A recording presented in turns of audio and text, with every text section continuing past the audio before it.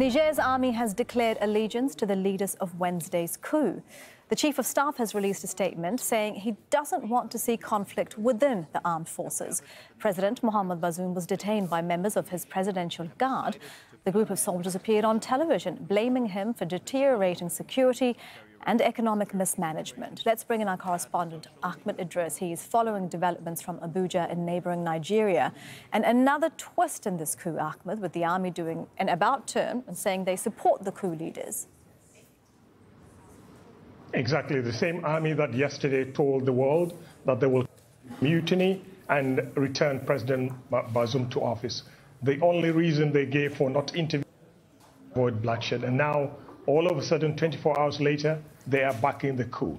This lent credence to certain suggestions within Niger that the government of Mohamed Bazoum was doomed to fail, was planned, everything was planned. This further complicates matters in the country, complicates matters on different fronts.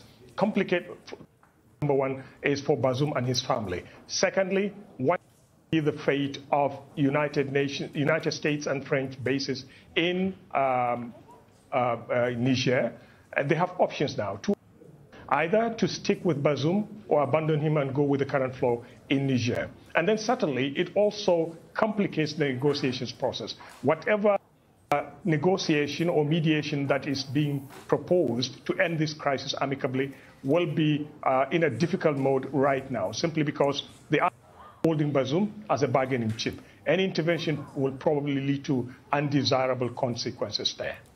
And just before the army said that they were going to throw their support before coup leaders, we heard from the foreign minister who said that he still believes, he still thinks of President Bazoum as president. What's the potential here for um, for this crisis to escalate, Ahmed, with you know two sides, one supporting the president, one supporting the coup leaders, and that being reflected on the streets of Niger too?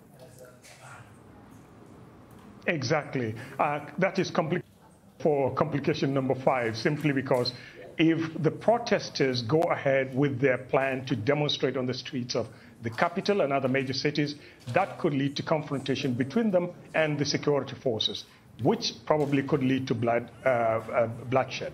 And there are also pro-coup supporters who want to go out onto, onto the streets and support the army for taking over or overthrowing President Mohamed Bazoum. That could also lead to clashes between the supporters of both sides.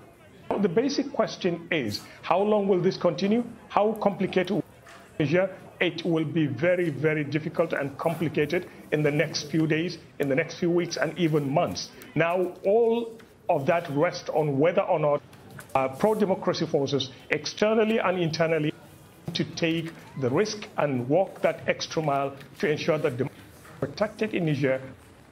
That will be the key, and people will be